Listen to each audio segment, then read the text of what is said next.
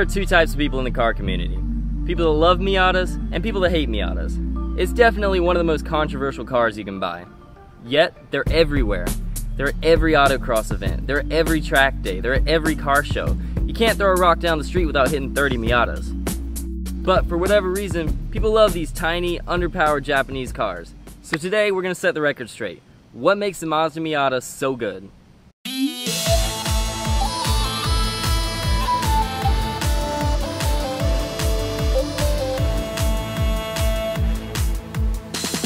This is a 2002 Mazda MX-5 NB2, aka a second generation Miata.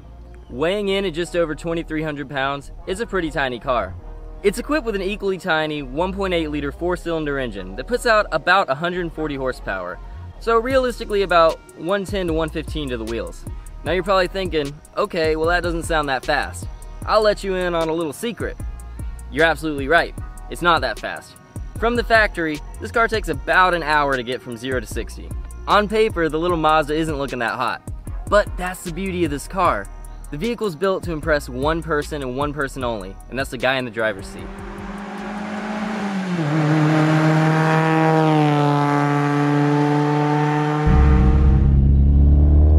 Dude, I feel like like that's 40. like it's that makes 40 really fun. Yeah.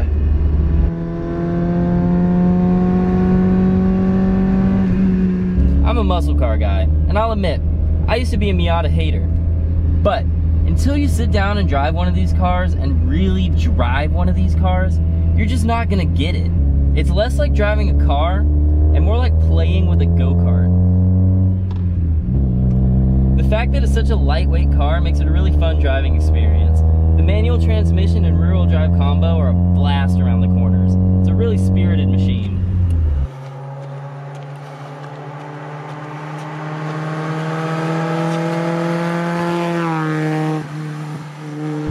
Yeah. Alright. Alright, I get it. I get it. Sure, it's not that powerful, it's not that fast in a straight line, but it's fun. It's genuinely fun. You're putting 100% effort into driving the car all the time. Even at low speeds, you're constantly shifting, you're constantly focusing on the road and the next turn. Even if you're not going that fast, you feel like you're going that fast. What you lack in acceleration, you make up for with the fact that you don't have to hit the brakes in the corners. In a lot of ways, this car actually reminds me of my Datsun. The lack of power can be an understandable turnoff, but once you get on the back roads, it stops mattering so much. And on top of all that, you can put the top down. What's not to love?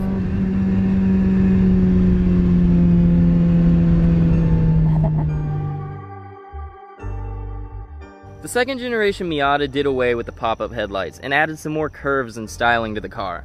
I'm personally a big fan of watching the headlights go up and down on the first generation models, but Mazda did a great job of making the NB less cute and more sporty. It kind of has an RX-7 vibe to it.